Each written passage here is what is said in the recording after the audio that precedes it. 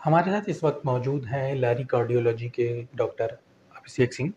Sir इस वक्त जो है हार्ट के पेशेंट कुछ ज़्यादा आ रहे हैं पूरे प्रदेश से मामले ज़्यादा आ रहे हैं। तो किस तरीके से के में व्यवस्था की गई है?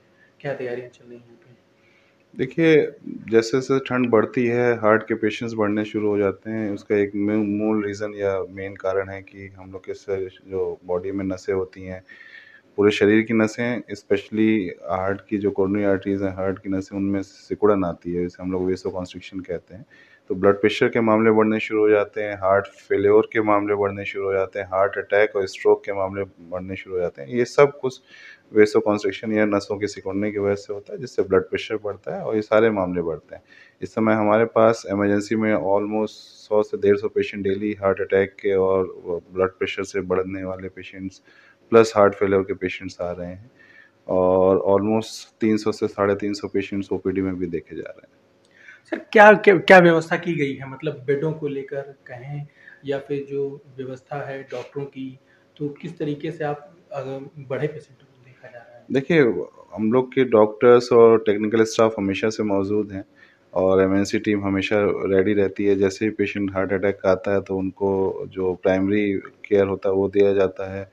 और साथ में अगर पेशेंट विंडो पीरियड के अंदर आता है तो हमारे पास थ्रोम्बोलिसिस प्लस एंजियोप्लास्टी की भी व्यवस्था है, जिसे हम लोग प्राइमरी एंजियोप्लास्टी कहते हैं। हार्ट अटैक के पेशेंट जो स्पेशली छः से बारह घंटे के अंदर आ जाते हैं चेस्ट पेन के बाद। तो ऐसे पेशेंट्स में हम लोग के पास प्राइमरी एंजियोप्लास्टी की भी सुविधा है और कभी कभी अगर उसके बाद आते हैं पेशेंट तो थ्रोम्बोलिसिस जिसे हम लोग जो नसों में जो थक्का जम जाता है, जिसकी वजह से हार्ट अटैक पड़ता है, उसको गलाने की भी जो दवाइयाँ होती हैं, वो मौजूद रहती हैं। व्यवस्था पूरी है लेकिन सबसे बड़ी ज़रूरी चीज़ है कि जो भी पेशेंट हार्ट डिज़ीज़ के पहले से नोन है या ब्लड प्रेशर या डायबिटीज़ के पेशेंट हैं उन सबको अपनी दवाइयाँ रेगुलर रूप से लेते रहें ठंड से बच के रहें और डॉक्टर से परामर्श लेते रहें। सर क्या वजह है कि मतलब कि जो जाड़े का महीना है नवंबर से लेकर और जनवरी जी जी चल रहा है पेशेंट लगातार बढ़ रहे हैं तो क्या माने सर कि किस वजह से दो तीन चीज़ें हैं इसमें मैं कहना चाहूँगा। एक तो जब भी ठंड का एक्सपोजर होता है, ठंड से सबसे जो सबसे इंपॉर्टेंट चीज़ें हैं, जो नसों में सिकुड़न आती है, हम लोग वेसो कॉन्स्ट्रिक्शन कहते हैं। ब्लड प्रेशर बहुत तेज़ी से बढ़ता है। आप कभी भी देखें किसी भी पेशेंट का तो जाड़ों में ब्लड प्रेशर हमेशा आपको बड़ा मिलेगा। गर्मियों में दवाएँ कम करनी पड़ती हैं, गर्मियों में पसीना ज़्यादा आता है, पसीनों से आपके शरीर से सोडियम का लॉस होता है तो ब्लड प्रेशर अपने आप कंट्रोल हो जाता है। जाड़ों में हमेशा ब्लड प्रेशर बढ़ता है, और ब्लड प्रेशर बढ़ना हार्ट अटैक तो को तो बढ़ाता ही बढ़ाता है, प्लस स्ट्रोक को जिसे हम लोग पैरालिसिस का अटैक कहते हैं, वो भी बढ़ जाता है, और सब टाइप की कार्डियोवास्कुलर डिज़ीज़ जितनी हैं, सब बढ़ जाती हैं, और साथ ही साथ न केवल हार्ट डिजीजेस, लंग डिज़ीज़ जिसमें हम लोग कहते हैं, जिनको सीओपीडी है ब्रोंकेलस्थमा है, ये भी ठंड के एक्सपोजर से बढ़ता है। तो ओवरऑल सांस फूलने वाली तकलीफ़ जिसको भले लंग से हो भले हार्ट डिज़ीज़ से हो वो बढ़ जाती है और सबसे मेन कारण उसका है वेसो कॉन्स्ट्रिक्शन या नसों का सिकुड़ना। सर क्या उम्र है? मतलब कि आप देख रहे होंगे कि लगातार किस उम्र के ज़्यादा मरीज़ आ रहे हैं? वैसे तो हार्ट अटैक के लिए अब उम्र को तय करना मुश्किल हो गया है कि जिस हिसाब की हम लोग की लाइफ चल रही है तीस साल तक के लोगों को भी हार्ट अटैक हो रहा है। बट ये जो ठंड से कोल्ड इंड्यूस हाइपरटेंशन और हार्ट डिज़ीज़ है स्पेशली ओल्ड एज में ज़्यादा कॉमन है, क्योंकि ओल्ड एज में हम लोग के पास specially after sixty years thermogenesis जिसे हम कहते हैं कि बॉडी में गर्मी प्रोड्यूस करने की क्षमता कम हो जाती है। तो वैसे लोग specially old age sixty years के ऊपर हों, जिनको पहले से कैंसर हो, जो इम्नो कॉम्प्रोमाइज हो, जिनको chronic lung disease chronic kidney disease किसी भी अंग की क्रॉनिक डिज़ीज़ हो, ऐसे लोगों में ये ज़्यादा अटैक करता है। सर तो मतलब कि जिस तरीके से मरीज़ आ रहे हैं तो क्या बचाव कर सकते हैं? अगर उम्र दराज लोगों के लिए है तो क्या मतलब आप कहेंगे, क्या सलाह देंगे? जनता को कि मतलब वो क्या करें और अपने आप को बच सकते हैं? देखिए सबसे इम्पोर्टेंट है ठंड के एक्सपोजर से अपने आप को बचा के रखें। गर्म कपड़े पहने लेयर्स में पहने ठंड के एक्सपोजर से बचें। टहलने का अगर व्यायाम आप रेगुलर करते हैं नियमित करते हैं तो अर्ली मॉर्निंग व्यायाम बंद कर दें।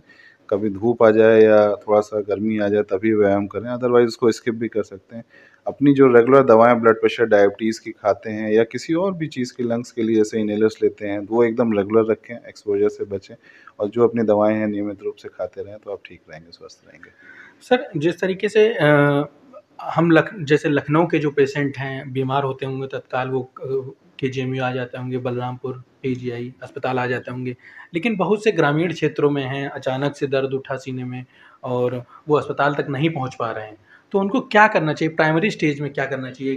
किस चीज़ का सेवन करें जो बचाव कर सकें हॉस्पिटल पहुँचने तक?